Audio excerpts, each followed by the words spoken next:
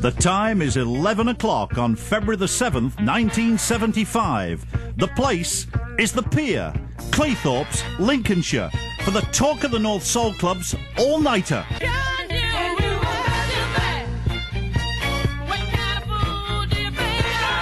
A keen competitor to Wigan Casino's Northern Soul crown, Mary Chapman put together a fantastic all nighter in Cleethorpes.